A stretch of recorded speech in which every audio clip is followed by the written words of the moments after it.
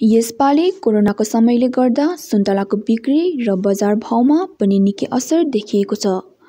Corona कालको कारणले गर्दा यसपालि अन्य विभिन्न क्षेत्रहरू जस्तै सुन्तलाको मार्केट पनि डाउन भएको र लकडाउनको कारणले सुन्तलाको बिक्री र बजारलाई निकै प्रभावित बनाएको छ।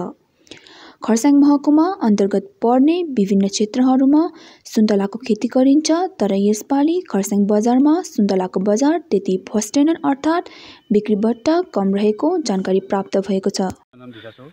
र अब योपालिको पोहोरको भन्दा योपालि थोरै कम्ती नै हो सुन्तला मात्रामा र पनि साह्रै कम्ती त होइन। अब बाहिरको एजेन्ट पनि आएको छ कारण होइन।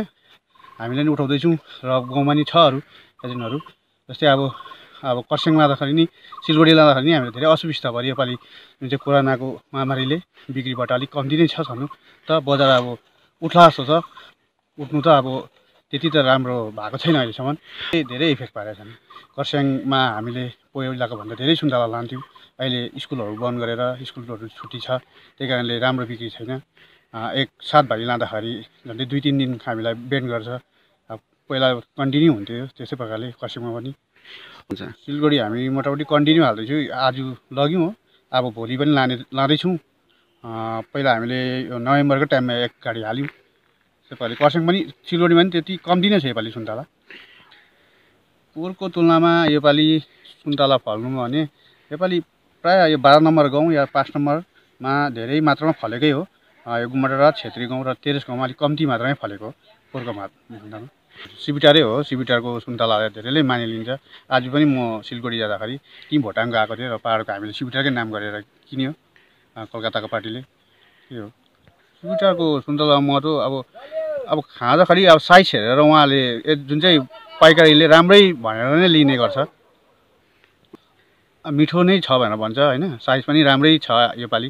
अब जस्तै सिटङको दुधले राम्रैसँगले उठाएर अहिले राम्रो दाम हालेको छ।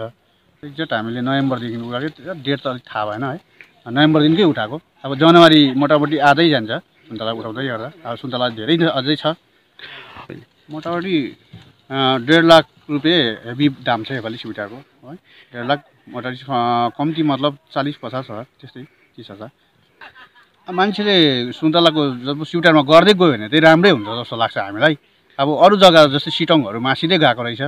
देख्नु आउँदाखेरि होइन सिबिटारको चाहिँ धेरै राम्रै नै छ। अब दस बाह्र वर्ष अझै रन्जेल स्याहाऱ्यो भने पन्ध्र बिस वर्ष पनि जानु सक्छ।